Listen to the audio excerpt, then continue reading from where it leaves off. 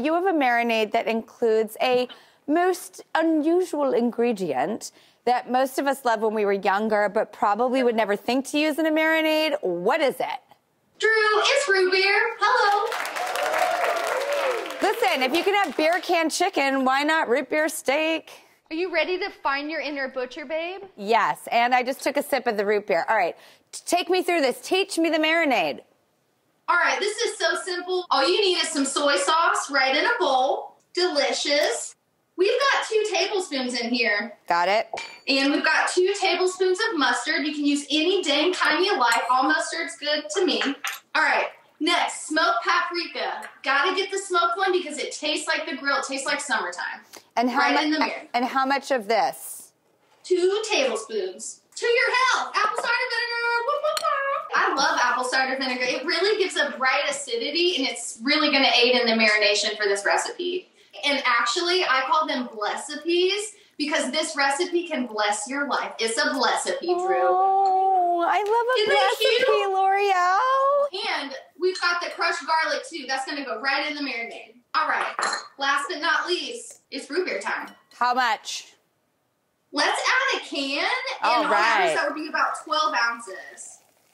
All right, look, so now we got skirt steak. You can use flank, thinly sliced, whatever. So we're just gonna drop those right into the marinade. Loreal, let me ask you a question. Like, I prefer like a skirt or a flank over a filet mignon. But what is the price difference? Am I am I like is that a lucky preference financially uh, speaking? Drew, that is really a lucky preference. Flank and skirt are usually around $13.99 a pound.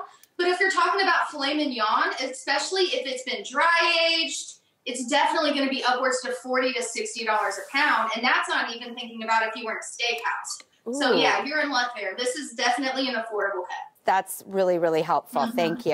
I love the skewered part of this especially because you can like walk around with a meat stick. Like it's fun. You know what I mean? Can you I- sear them up? I want to sear and sizzle. I want to hear it. Can I Let's do, do it? it. Yes, let's do it. Okay, so you got your cast iron. It sounds like it's nice and hot, which is exactly what we want. There's a little bit of smoky mist coming off of here. We're just going to add a touch of oil. Not too much, maybe about a tablespoon. And then what you want to do is you want to hear that iconic sizzle. Look at these beautiful skewers. Let's just set those down. And Loreal, Oh, yeah. how much on each side? Because that's always like Two minute rule.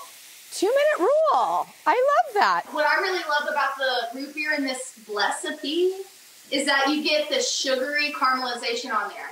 All right. Look at those; those look so good. Well, uh, thank you. Um, I'm really excited. Do you mind if I cheat and like taste one that's already been cooked because I can't take it? No, I want to too. Cheers. Cheers, Loreal. Oh my god. Oh my. You don't need a fork. Oh my I see gosh. you driving your minivan down the road with your kids eating this. Oh my gosh. Okay, and it's been two minutes. I'm ready to Yeah, let's flip it and reverse it. Dun, dun, dun, dun, dun, dun, dun, dun. You get me. I'm sorry, my butt has a mind of its own right now. I'm just, you know, eating meat off a stick and twerking, so that's good. I, I can honestly say this is one of the greatest recipes. This is, this is a life changer. This is incredible. Whoa! Oh my god! It's um, Thank you. I really want to comment on it. Would you call it a blessipy? That's what calling it a recipe. It's so um. The thing that I really love about this is how absolutely tender the meat is, and Right. yet it has this delicious sort of caramelization and a little bit of that grill on it that I just associate with red meat. I I like a little bit of a sear and a char but the meat inside is like butter. It's just delicious. The texture is perfection, but the flavoring is so good and so unique.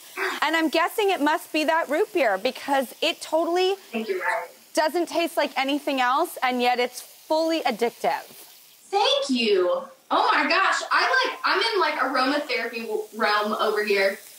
Well, I thank you so much because I am definitely um, I'm gonna make this with my kids, and and and this is Fantastic. this is gonna be so fun. It's so delicious. This feels like it would please everybody. By the way, this is a phenomenal Super Bowl snack recipe. I've got to say, and Right.